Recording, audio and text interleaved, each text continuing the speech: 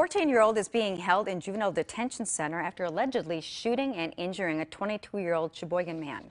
The Manitowoc County Sheriff's Office says the incident happened near Ridge Road and West Church Street in Mishicot on November 23rd. Police responded to a report of a suspicious unoccupied vehicle. When they got there, deputies saw evidence of shots fired into the vehicle. While police were still investigating, they say a 22-year-old Sheboygan man showed up at the hospital with a gunshot wound. The Manitowoc County Sheriff's Office says this is an isolated incident and the public is not in danger.